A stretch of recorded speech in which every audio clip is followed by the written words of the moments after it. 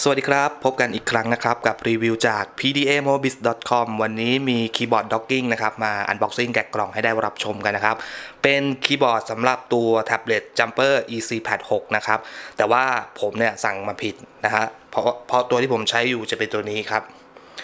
EZpad 6 Pro นะฮะ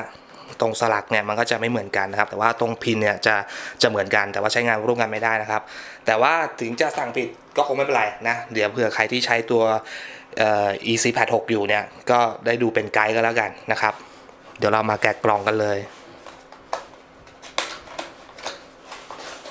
ตัวนี้เป็นคีย์บอร์ด docking นะครับ แบบ magnetic หรือว่าแบบแม่เหล็กนั่นเอง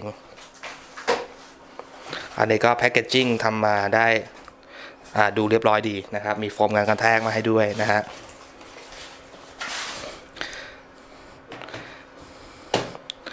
ตัวคีย์บอร์ดก็จะมีทัชแพดมาให้ด้วยนะครับประมาณนี้นะฮะตัวพินการเชื่อมต่อนะครับ ก็จะเป็นแบบ 5 พินนะฮะอยู่ตรงนี้นะครับ สลักจะอยู่ 2 ฝั่งนะฮะอยู่มุมเลยแต่ว่าตัว ECPad 6 Pro เนี่ยตัวสลักมันจะอยู่ตรงกลางนะครับ 2 ช่องนะฮะแล้วก็มีขนาดที่ใหญ่กว่า เพราะฉะนั้นเนี่ยเอามาใช้งานร่วมกันไม่ได้ครับ นอกจากจะ DIY ครับเจาะรูเข้าไปอะไรเงี้ยนะฮะ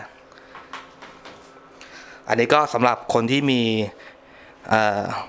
จัมเปอร์ ECPad 6นะครับ รุ่น 6 ธรรมดา ไม่ใช่รุ่นโปรนะฮะก็ซื้อมาใช้งานได้เลยนะครับ ตัว คีย์บอร์ดไม่มีภาษาไทยนะครับ ก็ไปซื้อสติกเกอร์แบบนี้มานะครับราคาไม่ถึงร้อยนะครับ สติกเกอร์ภาษาไทยนะมาติดนะฮะตัวแกนมันค่อนข้างที่จะหนืดๆเลยนะครับ อันนี้ก็คือดีมันช่วยปรับองศาได้นะครับเวลาทำงานเนี่ย แล้วก็จะมียางรองนะครับสี่มุมนะฮะตัว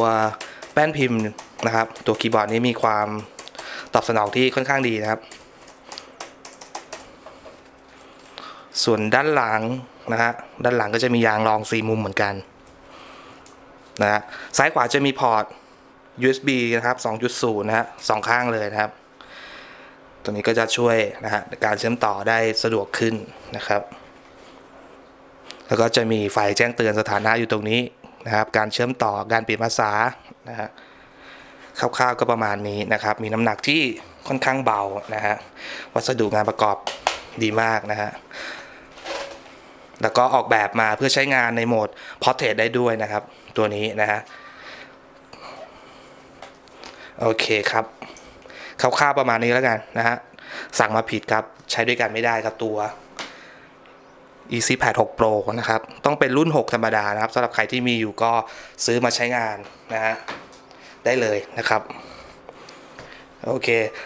ตอนนี้นะครับราคาอยู่ที่ 1,200นะครับอยู่ที่เกียร์เบสนะฮะใครสนใจก็สั่งซื้อได้เลยนะครับสำหรับคลิปนี้ก็คงต้องลากันไปแต่เพียงเท่านี้ขอขอบคุณที่ติดตามรับชมกันนะครับ สวัสดีครับ